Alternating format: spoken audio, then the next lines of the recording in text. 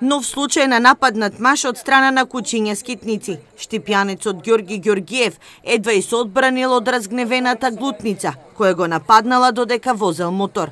Се уште во шок раскажува за немилиот настан, што утринава се случи во центарот на градот. Дојајќи на работа, на едносмерната, што да ви кажам, со мотора полека одејќи, нападнаваме кучиња. 10 може да беа, од 20 одбрани.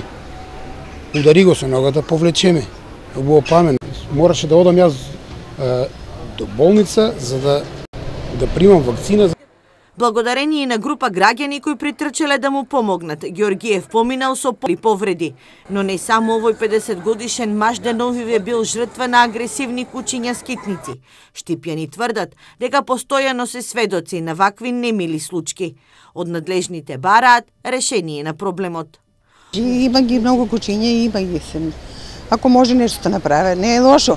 Налага да се изграде стационар за кучиња, но тоа е далеко од нас. Тоа треба да помине многу време па да дојде такво нечто кај нас стационар за кучиња. Ние за луѓето два имаме, а не за кучиња. Од општината убедуваат дека се при крај со работите и за брзо време стационарот ќе почне со работа. Во моментот се работи на поставување на водоводна линија која што е необходна поради потребата заради тоа што таму сепак ќе има сместено животни и ја очекуваме дозволата за употреба од Агенцијата за храна и ветеринарство. Веднаш кога ќе ја добиеме таа дозвола, ние ќе пристапиме кон јавна набавка, која, преку која што ќе ги повикаме фирмите кои што се заинтересирани да работат, да ги заловуваат животните и да ги транспортираат до стационарот.